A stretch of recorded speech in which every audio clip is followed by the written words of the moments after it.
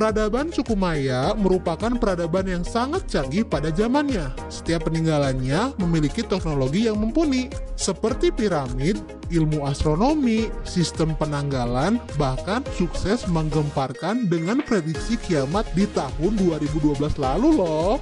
Lantas, seperti apa sih peradabannya? Untuk lebih jelasnya, yuk kita simak videonya.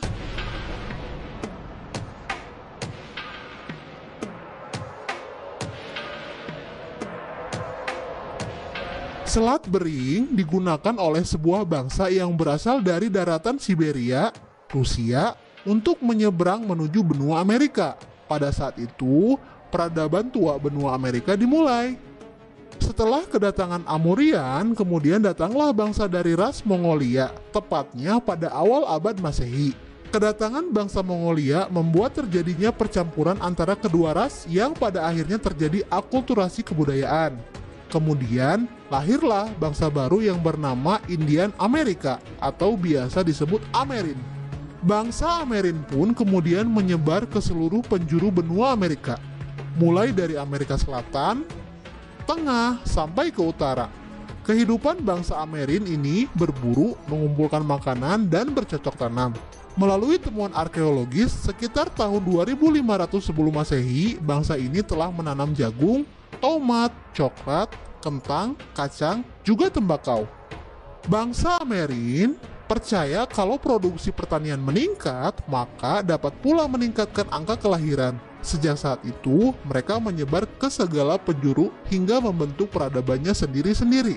Peradaban baru yang lebih maju pun muncul di benua Amerika, salah satunya adalah peradaban Maya.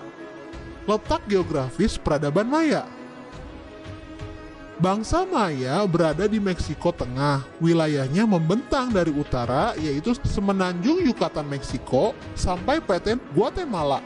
Mereka terkenal sebagai bangsa yang cerdas karena dapat membuat sistem pemerintahan yang terorganisir dengan baik. Kekaisaran Maya mengalami masa puncak kejayaan tahun 250 sampai 900 Masehi. Kekaisaran Maya mencakup Kondisi sosial politik bangsa Maya Bangsa Maya diketahui telah mampu menciptakan pemerintahan dengan sistem kekaisaran. Setiap kota yang berada dalam wilayah kekuasaannya memiliki pemimpin sendiri. Diperkirakan sekitar tahun 3 sebelum Masehi sampai 800 Masehi, bangsa Maya telah mampu membangun kota lengkap dengan kuil-kuil, piramida, istana, lapangan bola, dan tempat pertemuan. Mereka juga mengandalkan pertanian untuk konsumsi sehari-hari, terutama jagung yang menjadi makanan pokok.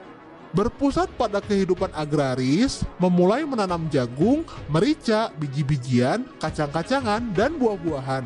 Aktivitas masyarakatnya adalah bertani dan berdagang. Keduanya menjadi kegiatan utama bangsa Maya. Sistem kepercayaan dan agama bangsa Maya Bangsa Maya menyembah jaguar atau dewa kucing yang merupakan penguasa dunia arwah sekaligus sebagai simbol keberanian. Pada setiap upacara, masyarakat bangsa Maya akan mempersembahkan darah manusia sebagai syarat wajibnya.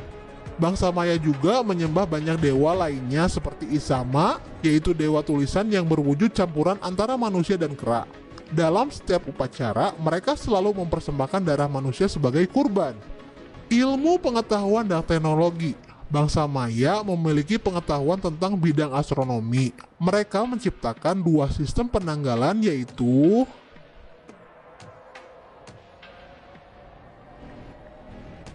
Masih ingatkah dengan isu kiamat 2012 suku Maya? Sehingga difilmkan oleh Hollywood. Hal ini dikarenakan habisnya kalender hitung panjang atau long count. Mungkin karena bangsa Maya belum sempat meneruskan kalendernya. Bangsa Maya memiliki kemampuan medis yang merupakan gabungan antara pikiran, tubuh, agama, ritual, dan ilmu pengetahuan. Orang yang memiliki kemampuan tersebut dinamakan shamans. Bangsa Maya punya kebiasaan olahraga yaitu bermain bola yang sudah dilakukan sekitar 3000 tahun sebelum kedatangan Columbus ke Amerika. Lapangan yang dibuat suku Maya dapat digunakan beragam kegiatan seperti pertunjukan musik, ritual keagamaan, dan bermain bola yang disebut pits. Nah, bangsa Maya ini mengembangkan sistem penulisan hieroglif, peristiwa-peristiwa, astronomi, dan juga kegiatan upacara agama. Semoga video kali ini menambah wawasan kalian tentang sejarah. Sampai ketemu pada materi selanjutnya.